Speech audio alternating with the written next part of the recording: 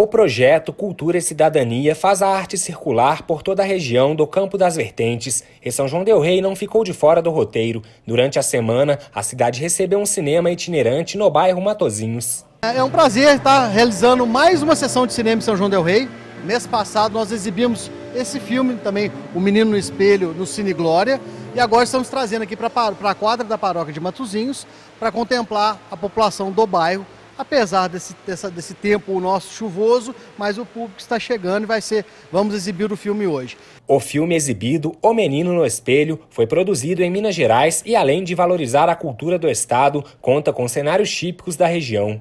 É um filme bem interessante, é um filme para a família toda, ele se passa na década de 30 e é um filme feito por um, por um diretor mineiro e que concorreu já a alguns prêmios.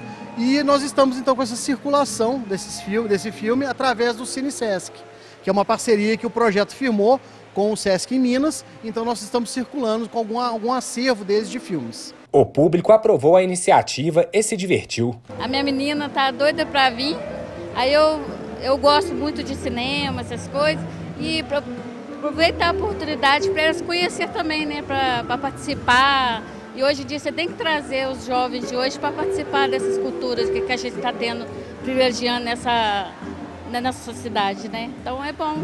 Ah, eu acho bacana, né? De vez em quando as pessoas têm que fazer isso. Acho bacana, legal.